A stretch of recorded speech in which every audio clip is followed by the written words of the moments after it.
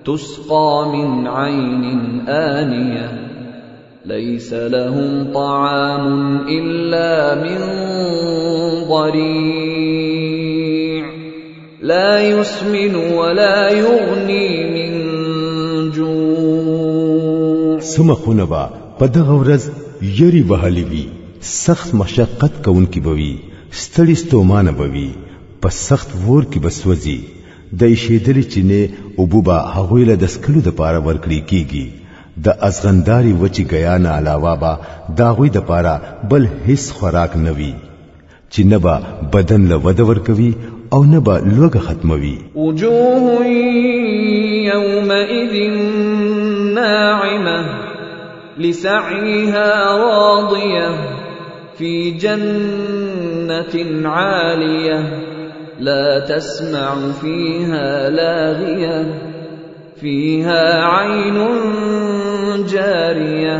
سمخونه با په دغه ورځ تازه وي په خپل کارونو باندې با خوشاله وي د اوچتي درجه په جنت کې بوي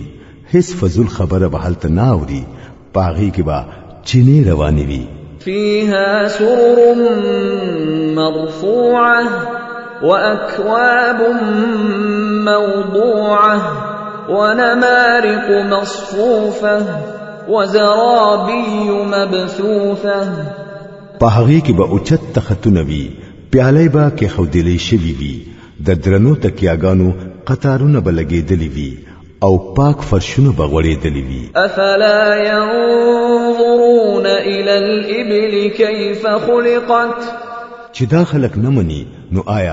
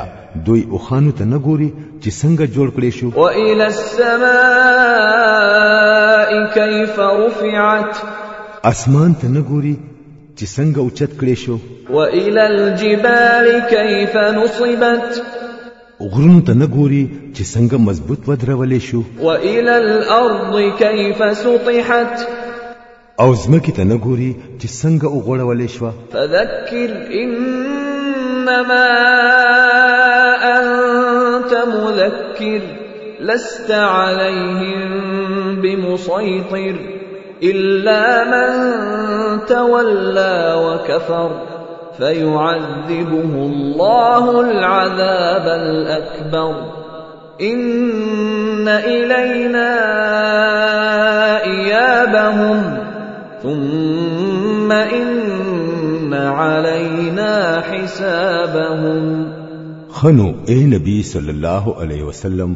نصیحت کوا تو خو بس نصیحت کون کې یې